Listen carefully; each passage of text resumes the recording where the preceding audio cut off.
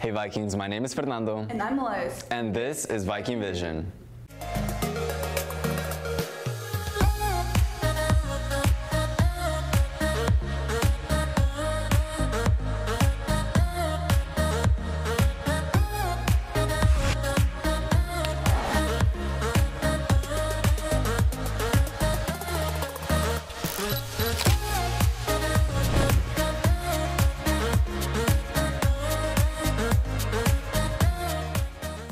Northview has a long history of holiday giving, and this year was no exception. Let's take a look.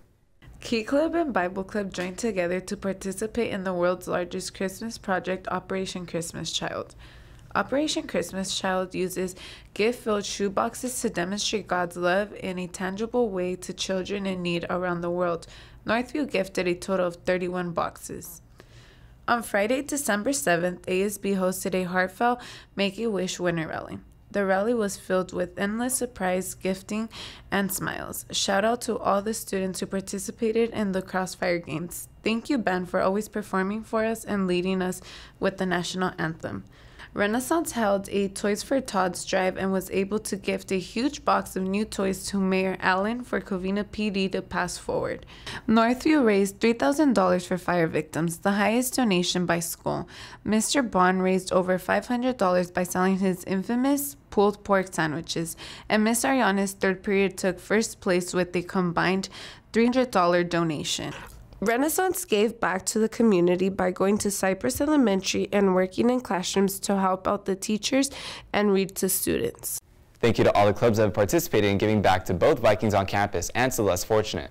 These gestures go a long way in spreading happiness this holiday season, even if it's just a smile. Northview's former world history teacher, Rita Gindy, gives us an inside look on her new children's book, Hannah's Travels, The Roman Colosseum.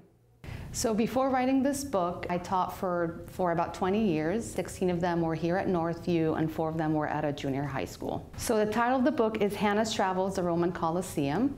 And it's about a little girl named Hannah who travels to Rome basically in a dream and she can't believe what she's seeing and she meets a teacher who basically guides her and explains the history and the significance behind the Roman Colosseum and Rome and Hannah is just like so excited to learn about all these things that she never knew existed. I was able to publish the book in Amazon. Um, so if you go right now on Amazon and you put Hannah's Travels, the Roman Colosseum, you'll see it. I've been thinking about it for a while, or I I finished working at Northview. It was back of my mind as something I'd always wanted to do. I just knew how many kids walked into my classroom hating world history. That was kind of my inspiration. I'm thinking, well, by the time I get them, they already hate history. So what can I do to reverse that? So I started thinking of my own children, and I have an eight-year-old, and I don't want him to hate history because I think it's incredibly fascinating. So I wanted to find a way to make it fun and make it easy where kids are learning about history, but in an exciting way at a very young age. So that's kind of how it all got started. So I've been working on the book for about a year. Some time to get a publisher and to get someone to actually publish the pictures. That took a lot longer than the writing. So after a year, I was able to get it published and, and get it all done through Amazon, which was actually much easier than I expected. And just a side note, it's a great little Christmas stocking. We're glad you're doing great things, Miss Gindy. We look forward to reading your new book. Northview's very own play production class hosted their evening of theater this past weekend, and it was a success. They were a little short of selling out both nights to showcase eight scenes from different plays, ranging from a multitude of tones and plots. Good job to these amazing thespians, and we're excited to see more of the great work you do.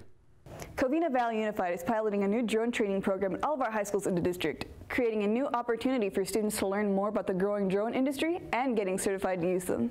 So the new drone program is a way for us in a CTE pathway to kind of create something for you kids at Northview High School and all through our district to be able to get certified in um, using drones. So we want all of our students to have the capability of getting certified in drones so they can take that into the real world and start doing random jobs that drones are now being used for. You have electricians who are using drones to check out the poles now. Solar Cities that uses drones to check the condition of solar panels. All these jobs that are out there now, we want our students to be able to do. Students will benefit from the drone program the same way that you guys benefit from having technology in the school. We're preparing you for the future and drones are a big part of our future. And so we want you guys to have access to it. And so whether that's exposure, whether that's you guys getting credentialized in it or getting a certification in it, it allows you to walk away from Northview High School when you graduate and say, I have this experience, I can do this job one day.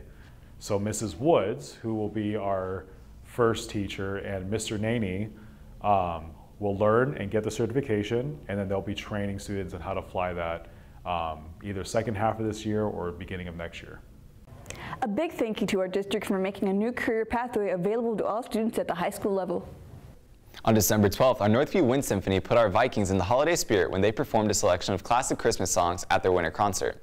Here's a recap in case you missed out on the concert.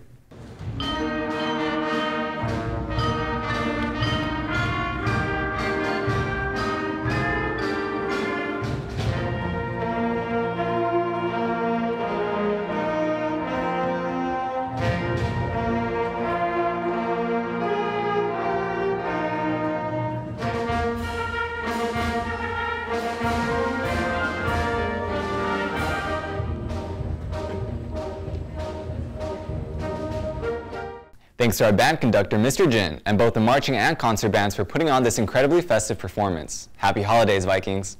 Thanks for tuning into this episode of Viking Vision. And remember, Vikings, gold life, Good life. See you next time.